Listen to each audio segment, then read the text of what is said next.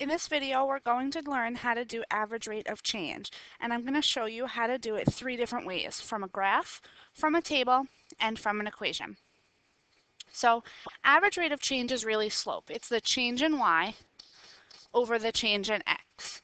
Now, because we're going to be dealing with different functions, such as polynomial functions, there's no slope because a slope only pertains to a line.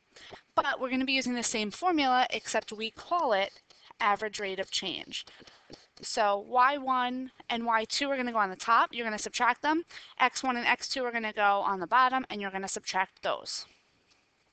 So from a graph, find the average rate of change on the interval negative 2 to 0. So that means that negative 2 and 0 are my x values. So negative 2, here's my point. I have the point negative 2 comma 20. And then 0, here's my point. I have the point 0 comma negative 5. So if you need to, you can label these as x1, y1, x2, y2, but you don't have to. So y2 minus y1 over x2 minus x1. So negative 5 minus 20 over 0 minus negative 2.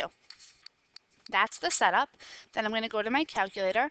Remember, if you hit alpha y equals, and then enter, it'll set up a fraction for you. So now you can type this right in exactly as you see it on your paper. Negative 5 minus 20. Hit my down arrow to go to my denominator. 0 minus negative 2. And I get negative 25 over 2. Which is an acceptable answer.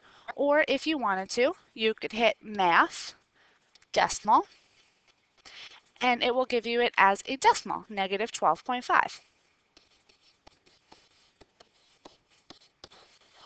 And either answer is acceptable.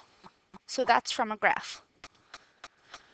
Average rate of change from a table find its average rate of change on the interval 2 to 6. So once again, those are my x values, 2 and 6. So in my table, when x is 2, y, or h of x in this case, is 9, because remember, this is my x, and that's my y.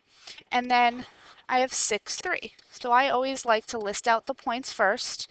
And then, like I said, if you need, write out your x1, y1, x2, y2. Here's my formula once again. So I have 3 minus 9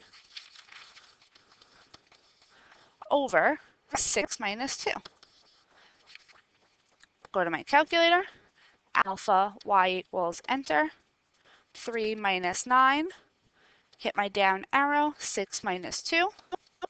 So I get negative 3 halves, which is acceptable. But as a reminder, if you want math, go to decimal and there is your decimal answer. So negative 3 halves or negative 1.5.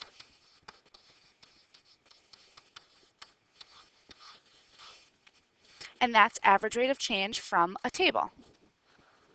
Lastly, let's look at average rate of change from an equation. Find the average rate of change of h of x equals negative x squared minus 3x plus 2 on the interval negative 1 comma 2. So you have two options here. You can substitute. So I can do h of negative 1 equals negative negative 1 squared minus 3 times negative 1 plus 2. And I can type that into the home screen of my calculator.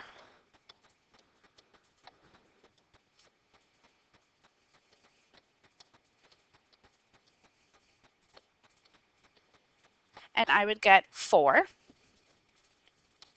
and then I would have to do the same thing with h of 2. But you also have another option. You can go to your calculator, you can go to the y equals, clear out anything if you have it in there, and type in the entire equation. Negative x squared minus 3x plus 2. And now I can go to my table by hitting second graph, and you see a table of values. Well, this table of values, if you copy it down, is just like when we did the example from a table. So Okay, here's my table of values. I do the same thing I did before. Negative 1, 4, and 2, negative 8. So this way might be a little bit shorter for you, and it might be a little bit easier because you don't have to worry about parentheses or negatives.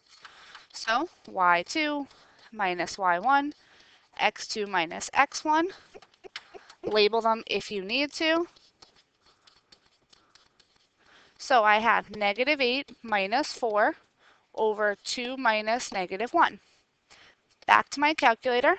Second quit to get back to the home screen alpha y equals, enter, negative 8 minus 4, 2 minus negative 1. And negative 4 is my average rate of change. So remember, average rate of change is really just slope. It only has a different name because we're not always dealing with lines. So we're using that slope formula, y2 minus y1 over x2 minus x1.